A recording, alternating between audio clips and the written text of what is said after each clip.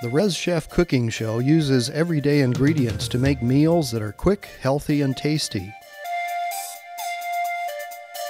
Host chefs Jody and Genevieve are young, busy moms from the Flathead Reservation.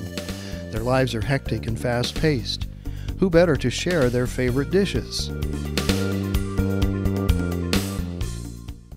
On this episode of Rez Chef, Vernon Finley and his children, Jerome and Olivia, help Jody and Genevieve prepare family fun tacos with a cultural twist.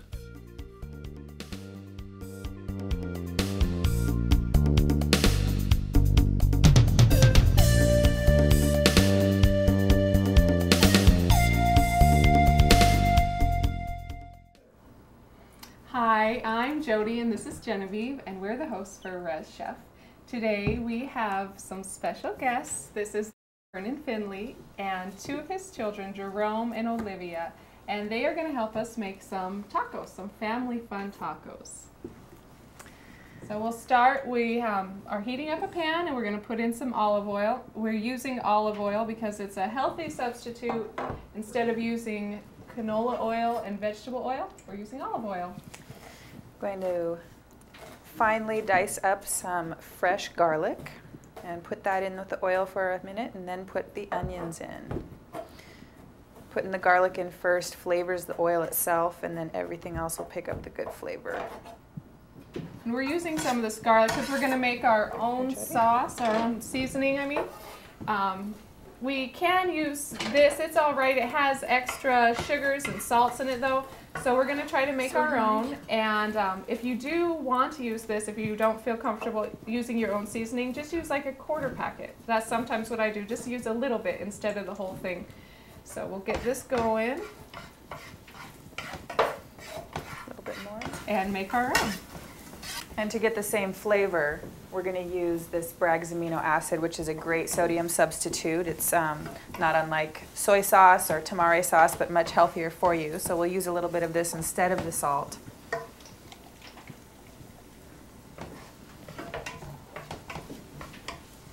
And what we did was we chopped um, a large onion and um, some garlic in there with the olive oil.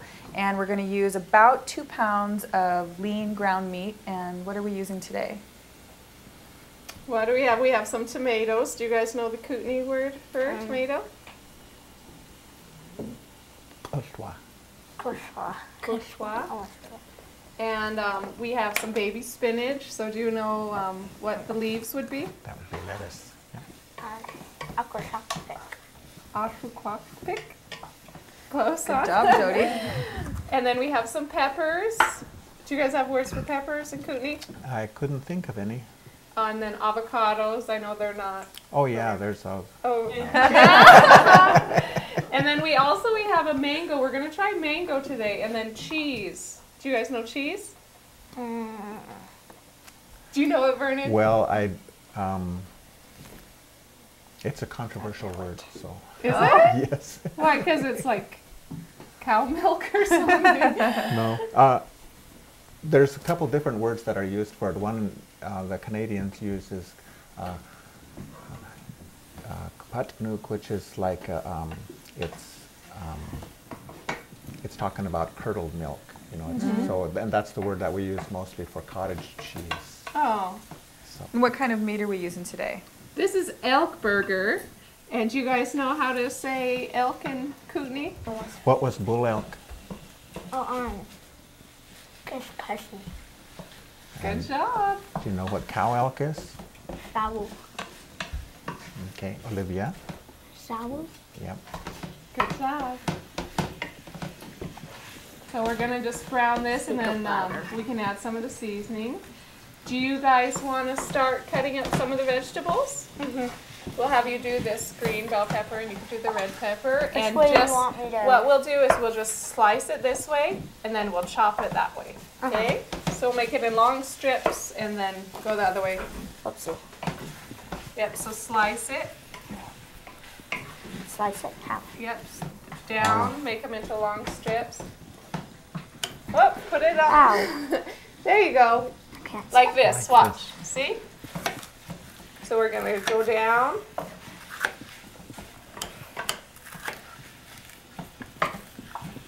And then we'll cut it this way. For seasoning, we've got um, some some hot pepper. We just want to use very sparingly unless you like a lot of heat like I do, but I'm not going to do that to you today. And we've got some oregano.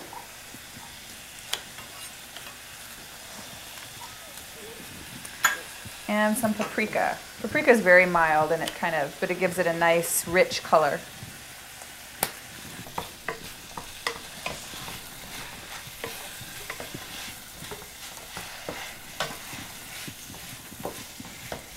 And then we also have some avocados.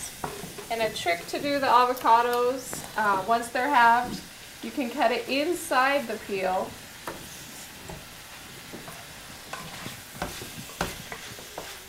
And then spoon it out. And how'd you do it again? Yep. Then just chop Good it job, right Olivia. down. And that way.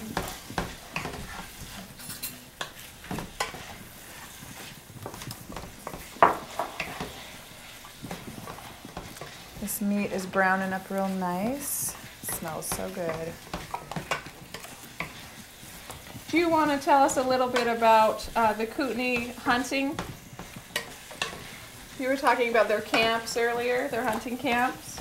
Yeah, traditionally during the fall time, well, to begin with, throughout the year, in, in the early spring, uh, traditionally they would go to gather all of the foods that they would store up for the winter time, beginning with the, the plants and starting with the bitterroot early in the, The spring on.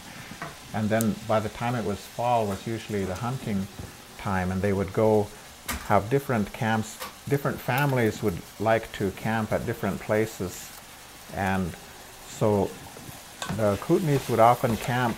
The, the family camps would be scattered from the Nairata area up towards Hubbart, Hubbart, where Hubbart Dam is now, and up that way towards uh, McGregor Lake, and up along the Kootenai River up to the Yaak, uh, West Fisher River, up that way. And there would be different families that would be camped at different places, and so the um,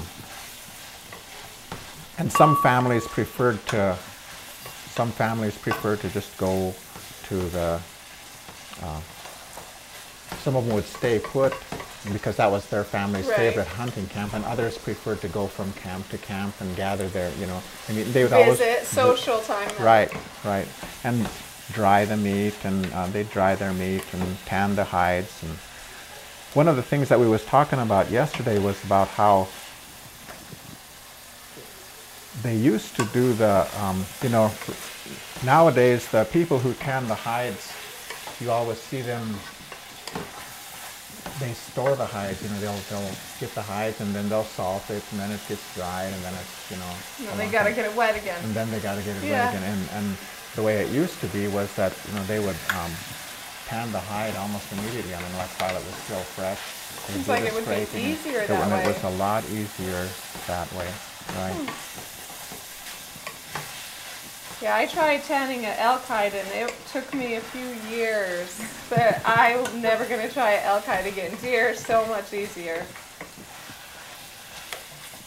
When we was in um, Ushni's class at the college on hide tanning, is that where you? Yeah, I did, and Yeah. I went to her house and I tried to do my elk. Um, I started when I was pregnant with Olivia, and she would come out and she would say, "Jody, that's enough. I don't want you having that baby at my house." so after a couple hours of scraping, she would make me stop, and then we could just visit. I'm going to add some uh, organic black beans. This is a much better way to do it than using refried beans, which has a Now lot of um, usually extra added the other lard. And this one we also got it with no salt added, and it's also low fat, so it's a very healthy substitute. And um, why don't we get our pan started for to warm the tortillas up? I don't know how. And we are going to be using some corn tortillas, and we are using this as a substitute so that um, instead of the white tortillas, because the flour tortillas they have a lot of added lard in it, and it makes them softer, but also not as healthy for you. So we're going to do the corn tortillas. And corn is a better grain to use than processed flour. But they are a little bit um, s- is stiffer, so you have to heat them so they don't Use break. olive oil with that. Okay, so they don't break when you try to fold them into your taco. So the tortillas, once they're, use a little bit of olive oil and do them on both sides. It allows them to be flexible without breaking. Gives them a little bit more um, stability. And you can just stack those up as they, as you do them. Good job, Olivia.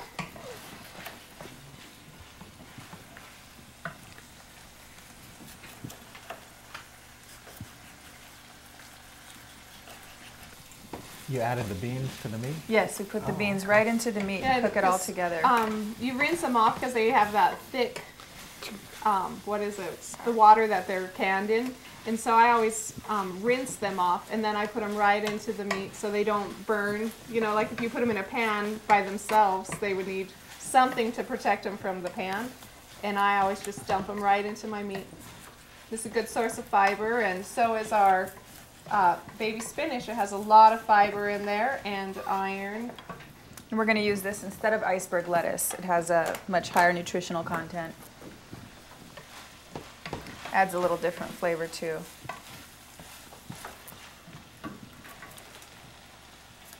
Spinach? Yep, baby Yes. spinach leaves. And you can use other mixed greens. Yeah. Yeah? I was kind Are kind you of. lying? No, no. I was just thinking about, uh, well, the controversy lately about uh, the spinach. Oh, the E. coli. yeah, that was um, last summer, wasn't it? Yeah. It's much healthier unless you get some with E. coli. I think that's uh, general, though, not just not just towards baby spinach. But yeah, like this one, it Make says sure you read the ingredients and it doesn't say E. E. coli. yeah, no E. coli on the back of this. But it has um, a serving size is three ounces. That's about two cups. It only has 10 calories, zero fat, zero cholesterol.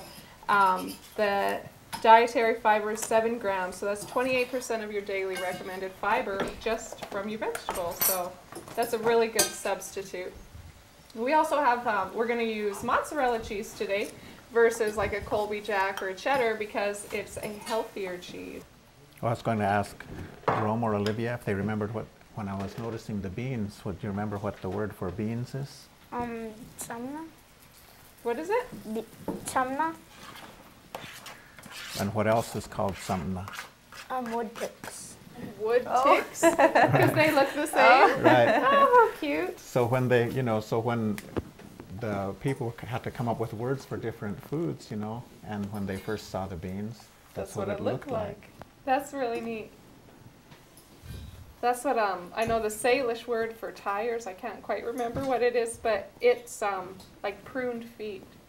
um, so where are you working right now? I'm working with the Kootenai Culture Committee. And what is uh, like your mission statement or?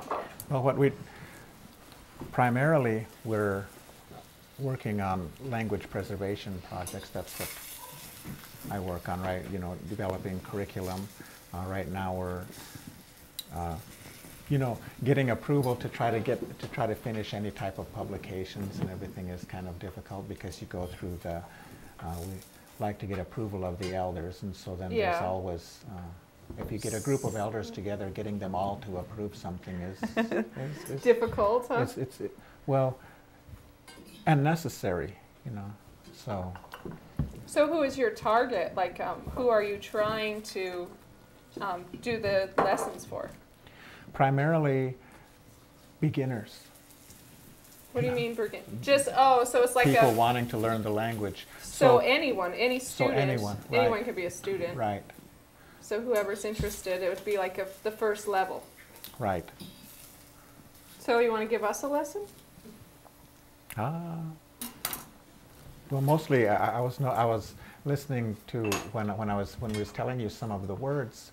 You already know a lot of the sounds, and that's one of the things that's really important. You know, we have the elders who are fluent speakers. They um, but not teachers. Mm-hmm. And then we have young people who are who have the inclination to teach, but they don't have the content. They don't know Right. the language, and so and one of the biggest issues that we deal with constantly, all tribes deal with in trying to revive their languages, is pronunciation. You know, a fluent to a fluent speaker like myself, I'm I'm nowhere near fluent, and I know a lot. I know a lot about it, and but my pronunciation isn't. You know, a fluent Foreign. speaker can listen to me, and they know that. You know, I, I'm not fluent in, in the way that I uh, the way that I speak. You have an accent. Right. And the, um, the, you know, the words just aren't, aren't quite pronounced correctly. And that was one of the biggest emphases of a lot of the fluent speakers was you have to say it absolutely correctly, you know. And so that kind of, uh, that's one of the issues that Well, we I deal with in trying to See, teach the some of the importance of it is because if you get away a little bit, then the next generation would get away a little bit further. And so, you know, four generations down the line, the word is going to sound very different than the way it started. Exactly, and that's like that's one of the really important issues that I try to get across to people, young people who want to teach the language is how much you're going to change it. You know, all languages evolve and change, but how much you're going to do it. For example, words that came in, um, well, like um, the word for beans, what he said, samna, that's, you know, um, that's one, that's one way that they come up with words is, is what, it, what it means from a cultural viewpoint.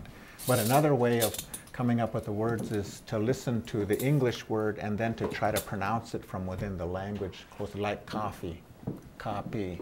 huh? Oh, that's like that Salish. That's Both. Is it? See, and, and what it is, there, there isn't a F in either, either language, Right. but the closest sound to a F is a P in the, from in the language, so they said copy. And uh, Susette, But- Joseph. Right. So if you think about from within the language, a person who only understood the language, they hear those words, they hear a copy, it would ha- it, w- it wouldn't strike any type of a meaning to them. Now the other word you was using in Salish for uh, car, you know, ipoishin, you know, it's wrinkly feet, Yeah. you know. So uh, now that creates an image, creates an image in, in, in a fluent person's mind. Whereas just copying the word, taking the English word and pronouncing it in Salish or Kootenai or any native language, that changes it. Good. Well, that's very interesting. Thank you for sharing. Do you guys want to get some tacos together? Yeah? Start making them. Okay, what we're gonna do is um, we'll give you guys your plates and your shells, your tortillas, and um, you can choose what you want on it. Maybe we should put the meat on it for them. And then you can add whatever toppings you'd like to try. We have also a couple substitutions for the toppings, so we can go over that. Um, this, we are using um, plain yogurt, and this is going to be instead of using sour cream. It's just a healthier alternative. It doesn't have all that fat. There's a tortilla. Treat.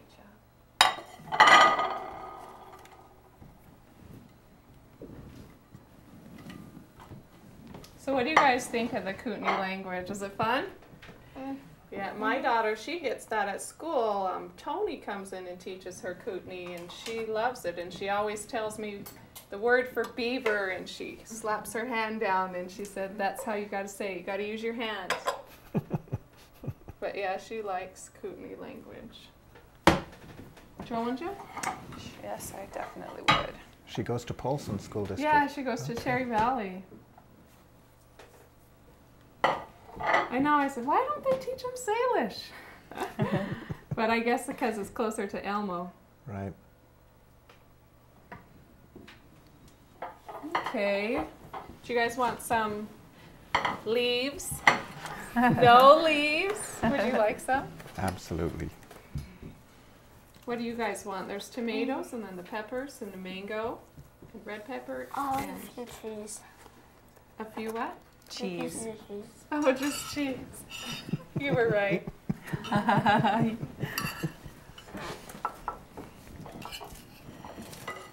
we also have some lime sliced up over here, which is really nice yeah, to put adds, on the top. Adds a nice flavor to it. My kids, they like to put ketchup on theirs. Do you guys like ketchup? Mm-hmm. No? My kids like ketchup. The tomatoes are good, and you always want to look for one that says, like, no added salt and no um, high fructose corn syrup or sugar that's added in it also. So try to get a healthy ketchup. Can I add any others? Mm, come on, go out on a limb. do you Try like something. Do you like sour cream? Because this yogurt is like sour cream. That's it, huh? Do you like salsa? No. what do you guys eat? Cheese. They're always cheese- minimalists, cheese and right? meat. Meat and potatoes. Really? That's- Yeah. you know, I always um, tease them about like, um, it's like a tr- traditional, I, I, I say traditional kootenai. It has to be, um, you know, meat and potatoes, and to get them to venture out and to try something else is Pulling teeth, is huh? pulling teeth, right? You know, it's uh, anything that looks a little different or haven't tried before. You know, difficult. Well, I've been lucky. Both my girls are very adventurous. They try anything and everything. They love hot sauce. They have pretty sophisticated taste buds. Sequoia passes on the ranch dressing and puts oil and vinegar on her ah, salads and has been Little doing vinaigrette, that since huh? has been that way since she's been in grade school. Cute. She's 12 now. This is a really fun meal to make with the family. As you can see, all the kids can get in on it and help. It's a nice way to teach them teach them how to cook. Coming along this time of year, one of the things that is always um, we're, what we're about to come up on is the the middle of the winter dances and the jump dance and the and it's where the um, a lot of the kids receive their names, their Indian names and everything, and so.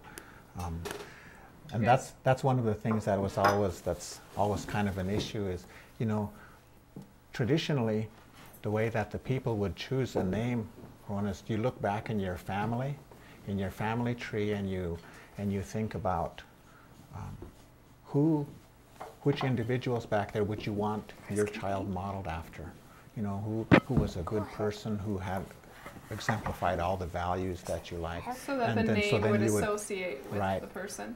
So you name your you name your children after someone you want them to be like Hmm. in, in the past, and so families pretty much would. Uh, you could tell there would be certain words that were used for Ah. um, in uh, Okay. that you that you would know which family which family line they were from just from the um, From their name. from from what their name was, right? What's your guys' names? Mine is, um, forgot. Maybe you Dad can forgot your you Indian remember. name? Yeah, I forgot. Oh, are you too nervous? Um, oh, it's Kushkana Shakna. What does that mean? Big old man. Big old man. You're gonna have to grow into that name, huh? What's your name, Olivia? Kokiaku. Kokiaku? Kokiaku? What does that mean? Um, blunt hand. Really? Good. See, and so when you think about their names, you know, from um, the way kids are at school, the way they wanna, you know, um, uh, you think about what would be a good name, and you'd say, "Big old man." what- Yeah. Um, Why would you want to have that name? right, but um, do you do you remember who you were named after? Um, my great um, uh, uh, great grandfather. Your great grandfather. and and he was um, a, you know a very well respected old man. He was on the tribal council. He um, was um, a spiritual man, and he um, helped a lot of people. And his home was always open, and he was always just you know just a real Good person. gentle Yeah. gentle old man. And so uh, so that's you know. Um, Was that his Well- name as it translated, or Right. Huh. And also, it, it would depend. Names Yeah, were also like he had a few different names And it folded that way. because you would have a, uh name for different for different things. Now, him being a, um, a spiritual person, a medicine man, he would have a different name for when he was in in that realm versus More like a title. versus Yeah. versus the name that you use out in public and Mm-hmm. i- in other situations. A special name. And his mother was Kukiyaku. So that's who, um, and she was one who um, she trusted automobiles when, and so she would walk. She would walk just about everywhere she went. She lived down in Dixon, and so she would go to jump dance in Elmo. I mean, like, She would walk to Elmo. you know. So I mean, week before. she- huh? yeah, right. So Walking the rest. right. Uh, So just to recap, um, we wanted to have a, a lot of different vegetables because vegetables are really good for your body. And we used yogurt versus sour cream because that's a healthier alternative. And we used mozzarella cheese versus a cheddar or Colby Jack. And we used the elk burger, so that's healthier than beef. And we made our own seasoning and we're using olive oil and corn tortillas. So this is a very healthy way to make tacos, and I hope you guys had fun. And thank you for coming, and it was nice to visit with you. And we are going to be up next. Um, on next week, we're going to have Kim Swaney here. She is also a tribal member and the editor for Char-Koosta News. And we're going to make some chicken and sun-dried tomatoes with broccoli, and it's going to be good. So thank you for watching. We'll see you next time. Goodbye.